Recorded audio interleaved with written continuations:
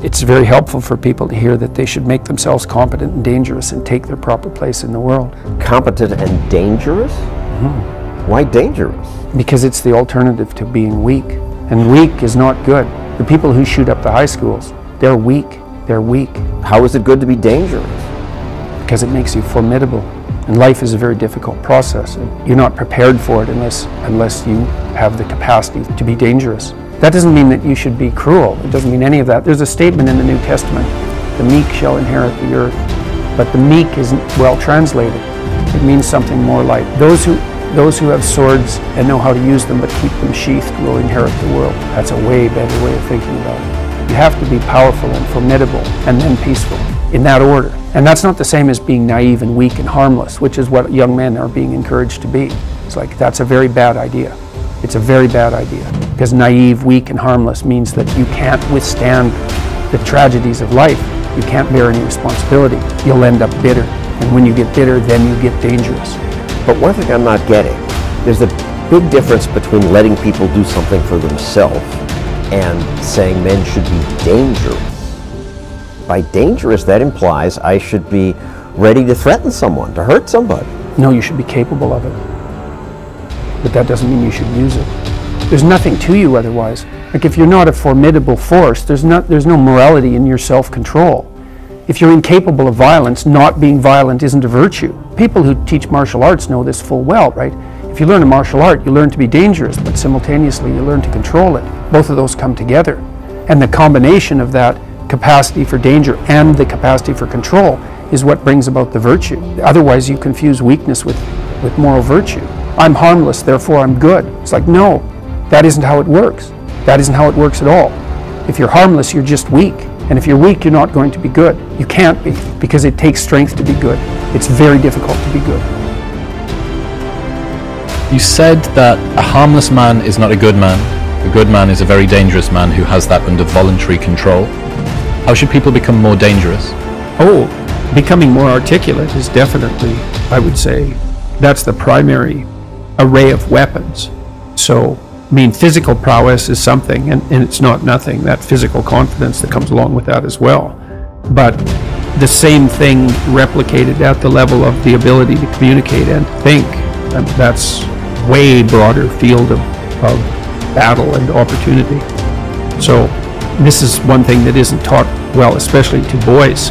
It's more important to teach it to boys, I would say, because they're more skeptical of such of the educational enterprise in general, generally speaking, partly because they're less obedient, partly because they're less agreeable. That's particularly true for disagreeable boys. And agreeable boys get higher grades independent of their IQ and their and their academic achievement because they're easier to deal with. So, what do you tell disagreeable boys? There's nothing that makes you more formidable than verbal competence, than being able to articulate, be able to think, to marshal your arguments, right?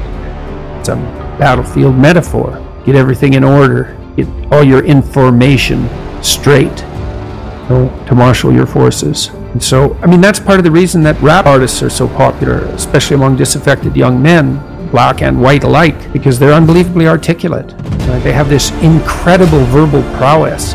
It's unbelievably attractive.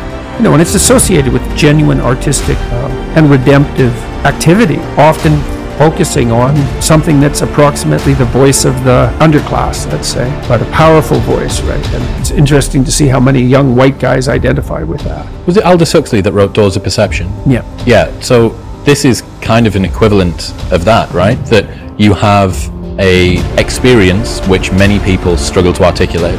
You take the best of us, the one that has the most precise, most articulate, mm-hmm. erudite language. Mm-hmm. You drop them in and you say, okay, show us what you've learned. Mm-hmm. This is the equivalent, but for just a different community, a different sort of life. That maybe you don't have the ability to describe what it feels like to live on a council estate in Manchester or in, you know, the, one of the neighborhoods of Brooklyn or whatever it might be. And then this person can, and it feels like it's your voice. Yeah, well, you still, if you're a young man, you still feel alienated from your place as rightful heir of the proper kingdom. I mean, that's an existential truism for everyone, for every, particularly for every young man, because he is an outsider in many ways. He's young and juvenile and not very highly valued, and and then is is in some sense hurt by the inadequacies of the current king, the current culture, and and is easily turned against it because of that. And that's the machinations of the evil uncle. That's the King Arthur story. That's the story of Horus. Horus and Osiris. It's an ancient, ancient story. It's the story of Sauron, and it's there all the time.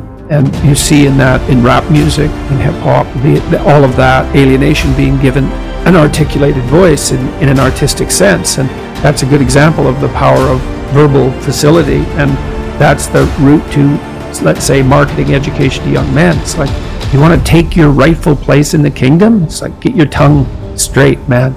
Get it under control in the highest possible sense. We went to a comedy club, Tammy and I, and in uh, New York, Comedy Cellar. It's a great comedy club. And the last comic was an English guy, and uh, he was uh, not particularly physically prepossessing, and he, he made a lot of jokes about that, and it was quite funny. And then he divided the audience into five sections, and he asked each section to toss up a topic, just to yell out a topic. And they were like random topics like the Kennedy assassination and electric lighting before 1890. Those were two of the topics, and the other three were just as diverse. And then he put on some beats and he did a, about an eight minute rap with every verse rhymed, and he tied the whole thing together at the end and ended at the end of the music, all spontaneously. It was unbelievable. And that's logos, man. That's the redemptive power of the logos right there. The magic word, the sacred word It's just manifesting itself on stage. There's something very impressive. Something about that that does feel dangerous as well. In not in a I need to be concerned and this should be contaminated and walled off, but in a way that you think that person has so much competence mm-hmm. that it it's flowing out of them, mm-hmm. and you almost feel competent by being around them. Mm-hmm. So you certainly feel competent by appreciating it. Yeah. Right. Because it speaks to the part of you that is capable of appreciating such things. You think, wow, that's really something. That's really, that's an amazing display. That's an amazing thing to see. Amazing, right? A very interesting word, amazing. And you're, you're trapped and you're trapped by the charisma of that. And that charisma, that's not nothing. That's, that's a signal of something redemptive occurring. That, that accounts for virtually all of the attraction of hip hop and raps, the articulate, articulated voice of the struggling but worthy underclass. I suppose that's a good way of putting it.